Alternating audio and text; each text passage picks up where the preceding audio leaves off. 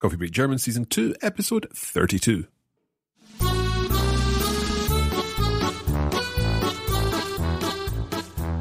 Hallo und herzlich willkommen zu Coffee Break German. Ich bin Mark.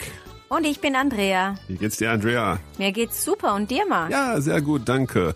We're delighted to be back with another episode. This is the second episode in our series of of a, a, soap opera to finish off Coffee Break German season two. Now, thank you for your, your comments so far. Mm-hmm. You've had lots of positive comments over the past couple of weeks since we released episode 31. And we're delighted that you're enjoying this soap opera and hearing Yeah. the German in, in a context, hearing what you've learned already in a context. And we'll be continuing with this today.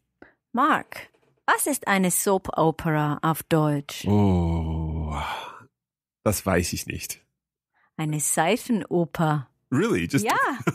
a, a, a literal translation? Eine genau. Seifenoper. Okay, now I know. I was trying to think of some some kind of word from another language that I know and putting it into there, but yeah, I like the, the Spanish version, un culebron. Oh, wow, super. Culebron.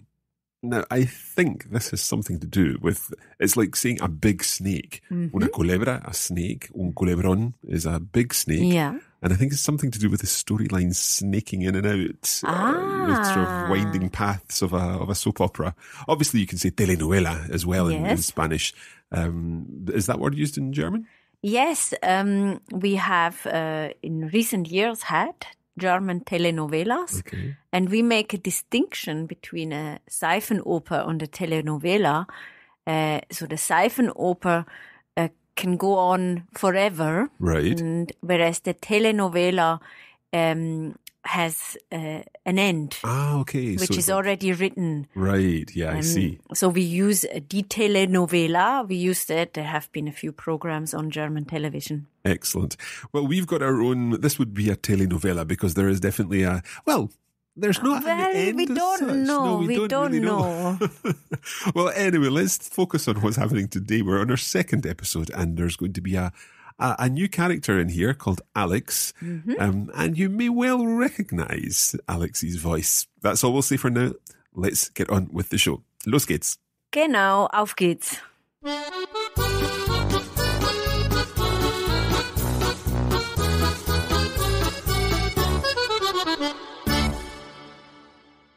This episode begins with Carola, Philip, and Miriam in the flat. Also tschüss ihr zwei. Ich muss mich beeilen. Meine Vorlesung beginnt in 30 Minuten. Tschüss, Carola. Bis später. Tschüss. Wir sehen uns dann im Café Sonnenhof um halb eins, ja? Klar, bis dann. Trefft ihr euch im Café? Vielleicht komme ich auch. Ich habe heute frei. Du hast es gut. Ich arbeite im Café Sonnenhof. Meine Schicht beginnt um elf. Toll, du hast einen Teilzeitjob. Ich suche auch Arbeit. Letztes Jahr habe ich bei uns im Pub gearbeitet. Du könntest dich im Pub in der Schillerstraße bewerben. Die suchen oft Mitarbeiter, die Englisch sprechen. Ah, gute Idee. Ich gehe gleich mal hin. Hi, kann ich dir helfen? Hallo, ich bin Philipp. Ich suche einen Job als Kellner. Ist etwas frei? Hm, hast du einen Lebenslauf dabei? Ja, klar, hier. Okay, du kommst aus Schottland. Da sprichst du wohl auch fließend Englisch. Ja, genau. Das ist gut. Viele unserer Gäste sprechen kein Deutsch und kommen extra hierher, weil sie Englisch sprechen können. Ja, das hört sich gut an. Ich finde es auch einfacher, Englisch zu sprechen. Du musst natürlich erst mit dem Chef sprechen. Hast du diese Woche mal Zeit für ein Vorstellungsgespräch? Und dann müssten wir einen Termin finden, damit wir dir das Kassensystem und so weiter zeigen können. Ja, ich könnte morgen kommen. In der Früh. Geht das? Warte, ich schau mal im Kalender. Ja, morgen um 10 ist der Chef da und hat noch keinen Termin. Ich notiere das gleich mal. Super, danke. Soll ich morgen einfach hierher kommen? Ja, genau. Wenn vorne zu ist, einfach hinten beim Liefereingang klingeln. Alles klar, danke. Dann bis morgen. Tschüss, bis morgen. Okay, so we've now heard our second episode of our soap opera, and uh, we have also been introduced to a new character, the character of Alex, played, as I'm sure you have recognised, by Thomas from Coffee Break German Season 1. It's great to have Thomas back with us for this final section of Coffee Break German Season 2, and a nice accent. Yes, indeed. We are in Munich with our soap opera, mm-hmm. and Thomas has just the right accent, a nice Bavarian accent for a soap opera in Munich. Absolutely. And it's great to hear different accents as we as we explore the parts of the story. Indeed. Right, let us think first of all what the, the this episode is about. And I'm going to give you a quick summary in English about the, the story in this episode. We begin with our three friends in the flat and they arrange to meet later in the Café Sonnenhof where Miriam is actually working. Now, this gets Philip thinking he's also looking for a part time job, and he mentions that he's worked in a pub before. Miriam suggests a pub where they're looking for English speakers. So he goes off to the pub, and that's where he meets Alex, who works there. Philip hands in his CV, and he's asked to come along for an interview with the chef, who's not the chef, but the boss, the next day. Okay, Andrea, should we go back through the episode and listen to the different sections of, of this episode? Yes, that's a very good idea. We'll split it into four again, and we'll listen to a section and then talk about the, the language in that Super. section. Also, tschüss, ihr zwei. Ich muss mich beeilen. Meine Vorlesung beginnt in 30 Minuten. Tschüss, Carola, bis später. Tschüss. Wir sehen uns dann im Café Sonnenhof um halb eins, ja? Klar, bis dann. Trefft ihr euch im Café? Vielleicht komme ich auch. Ich habe heute frei. Du hast es gut. So, Marc, was ist passiert? Okay, in this first section, um, well, the, the three flatmates are, are talking. Um, I think Carola's heading out to university, Genau. And then uh, she makes an arrangement to see the others, or at least to see Miriam, is it? Ja, nur Miriam. Okay. And they make an arrangement to see Miriam at half one. Bist du sicher, Marc? At half 12, sorry. Rookie, Genau. rookie mistake. Ja. rookie mistake. Okay, also halb eins Ja. ist half an hour to one. Und was macht Philipp heute? Um, well, I think he said that he's got a day off. He's free. Ja, genau, ich habe heute frei. So is he asking to go along? Yes, he wants to join them. To join yeah, them. he is suggesting, um, oh, maybe I could come too. Mm-hmm. Okay. Yeah. So when he says, uh, I'm free today, what does Miriam think about that? Yeah, she thinks he's very lucky. Okay. Uh, let's find out more about why she thinks he's lucky and we'll listen to the next section. Du hast es gut. Ich arbeite im Café Sonnenhof. Meine Schicht beginnt um elf. Toll, du hast einen Teilzeitjob. Ich suche auch Arbeit. Letztes Jahr habe ich bei uns im Pub gearbeitet. Du könntest dich im Pub in der Schillerstraße bewerben. Die suchen oft Mitarbeiter, die Englisch sprechen. Ah, gute Idee. Ich gehe gleich mal hin. Okay, so does Miriam have a job herself Ja, genau. So Miriam works at the Café Sonnenhof. where they're going to be meeting later? Yes, but she's obviously thinking, wow, uh, Philip has a day off. That's great. I don't. Mm-hmm. I have to work at the Café Sonnenhof. Um, but Philip, on the other hand, um, he thinks Miriam is very lucky. Why do you think he he thinks that? Well, I think he's looking for work. Genau. Did he say, ich suche Ja. Arbeit? Genau, ich suche auch Arbeit. I too look for work. Right, okay. Yeah. Um, and Miriam has a suggestion. What does she suggest? Well, I think there's a there's a pub uh, somewhere, Schillerstrasse? Genau. And uh, I think Miriam's suggesting that there, the there are they are looking for people that speak English. Is that right? Genau. Genau. Super. Because we've looked at this uh, in the in the previous episode hmm that a pub is a place um, there is a, a cultural Yes. vibe in there, and that's why maybe a lot of uh, expats, Yeah, so go they to the pub because they can speak English there. Right, so they will go to a kind of English style pub Yeah. uh, because that's where they can speak English Yes. and, and order their beers and so on. Genau. Okay, so well, I guess Philip is going to try that out. He's going to have a look uh, and uh, visit this pub and see if if that's a possibility for some work. Genau. Okay, so the next section of the conversation takes place in the pub uh, with Alex, the the person who works in the pub. But we're going to have a listen to that after our break.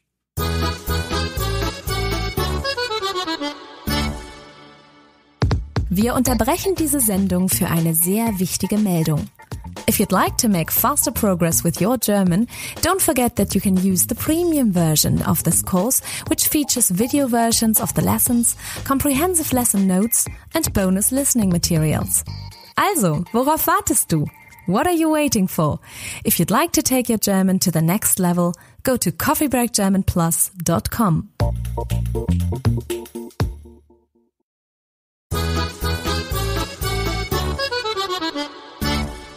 Okay, welcome back. We're at the pub today, or at least we're just about to arrive at the pub with Philip, who's going to talk to Alex about the possibility of working in the pub. Let's listen to the, the first half of their conversation. Hi, kann ich dir helfen? Hallo, ich bin Philipp. Ich suche einen Job als Kellner. Ist etwas frei? Hm, Hast du einen Lebenslauf dabei? Ja, klar, hier.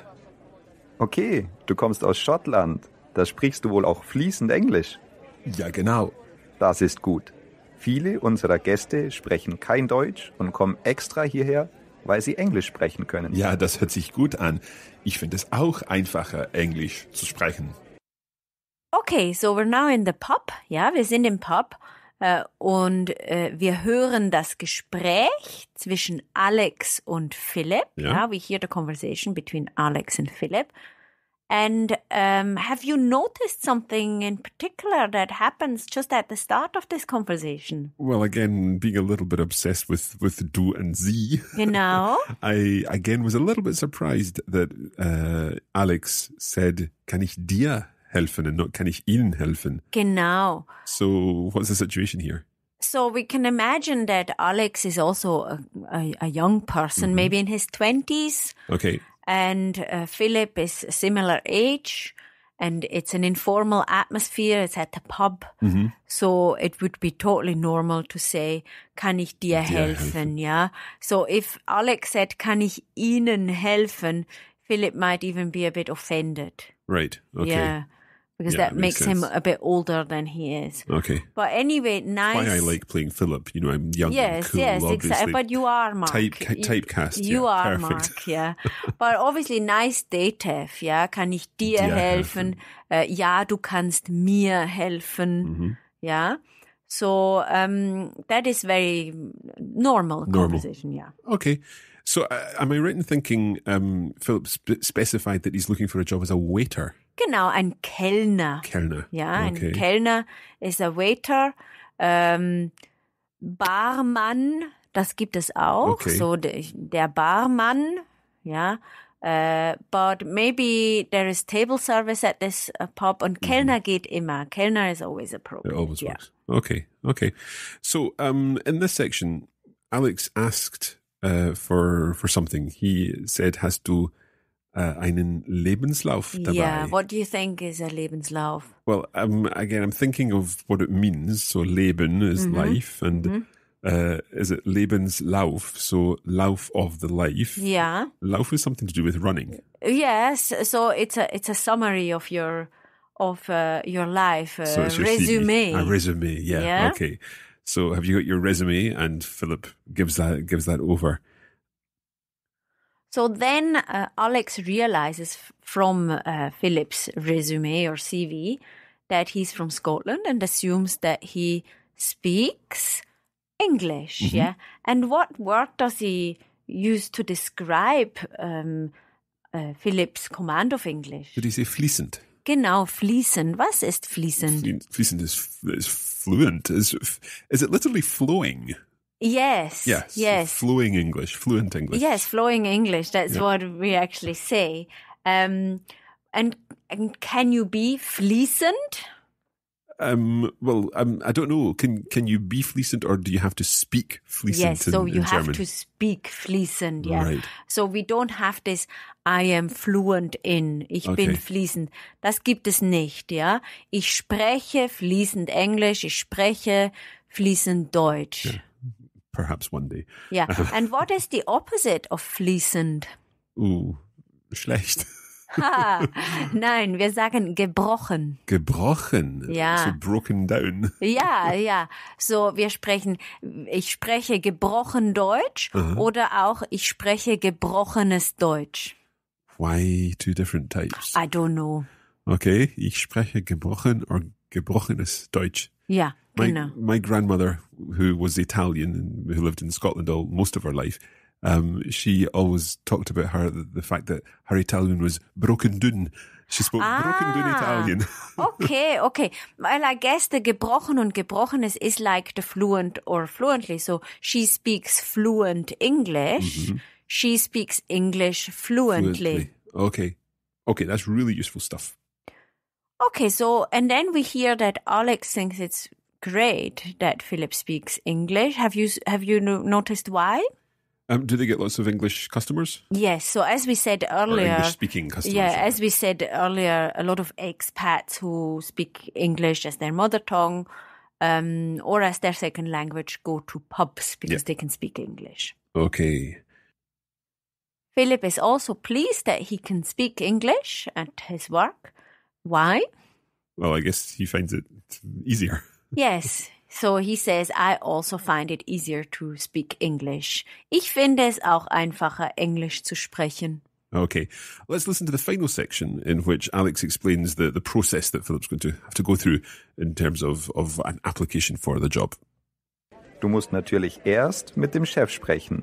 Hast du diese Woche mal Zeit für ein Vorstellungsgespräch? Und dann müssten wir einen Termin finden, damit wir dir das Kassensystem und so weiter zeigen können. Ja, ich könnte morgen kommen. In der Früh. Geht das?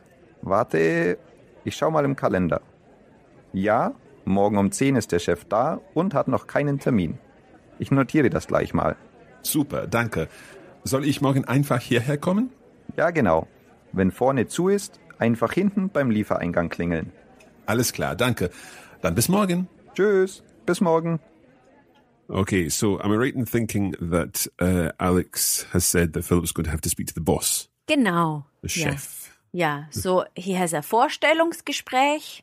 An That's interview? an interview, a job interview, and uh, he has to sp- speak to the chef, the boss.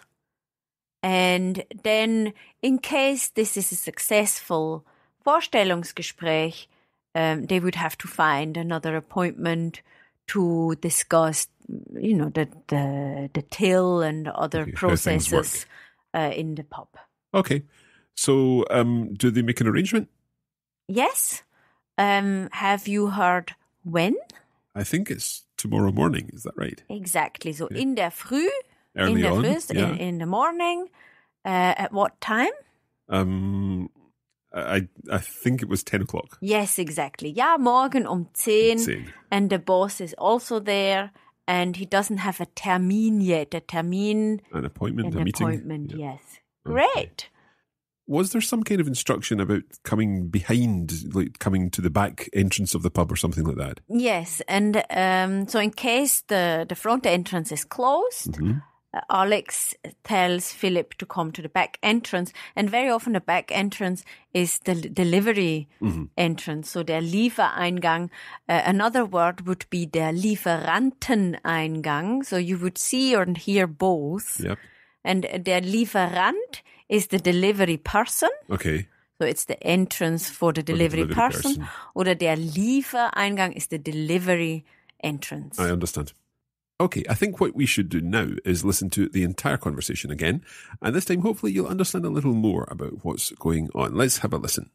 Also tschüss ihr zwei. Ich muss mich beeilen. Meine Vorlesung beginnt in 30 Minuten. Tschüss, Carola. Bis später. Tschüss. Wir sehen uns dann im Café Sonnenhof um halb eins, ja? Klar, bis dann. Trefft ihr euch im Café? Vielleicht komme ich auch. Ich habe heute frei. Du hast es gut. Ich arbeite im Café Sonnenhof. Meine Schicht beginnt um elf. Toll, du hast einen Teilzeitjob. Ich suche auch Arbeit. Letztes Jahr habe ich bei uns im Pub gearbeitet. Du könntest dich im Pub in der Schillerstraße bewerben. Die suchen oft Mitarbeiter, die Englisch sprechen. Ah, gute Idee. Ich gehe gleich mal hin. Hi, kann ich dir helfen? Hallo, ich bin Philipp. Ich suche einen Job als Kellner. Ist etwas frei? Hm, hast du einen Lebenslauf dabei? Ja, klar, hier. Okay, du kommst aus Schottland. Da sprichst du wohl auch fließend Englisch. Ja, genau. Das ist gut.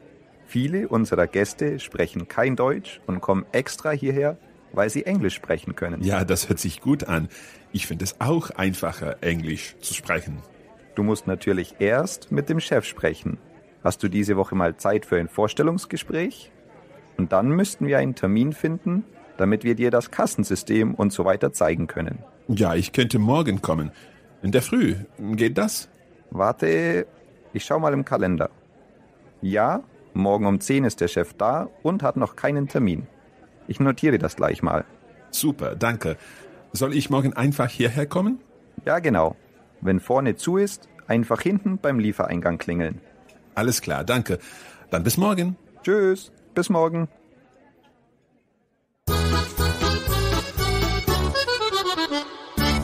Okay, that's it for this episode of Coffee Break German.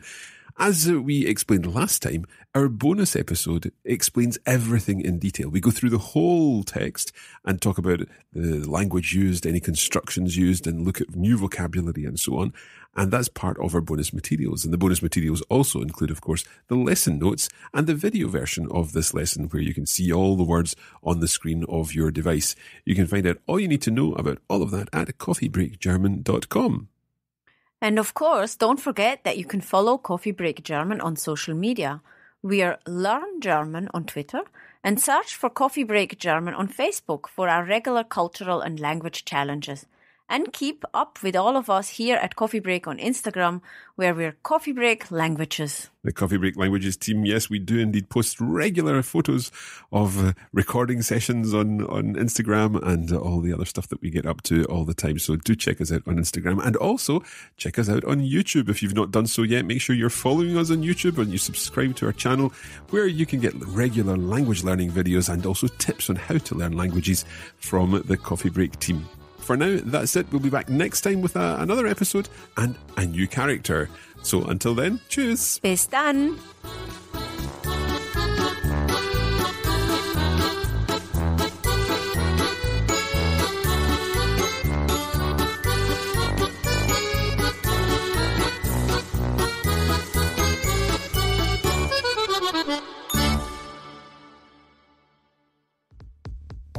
You have been listening to a production of the Coffee Break Academy for the Radiolingua Network. Copyright 2017 Radiolingua Limited. Recording copyright 2017 Radiolingua Limited. All rights reserved.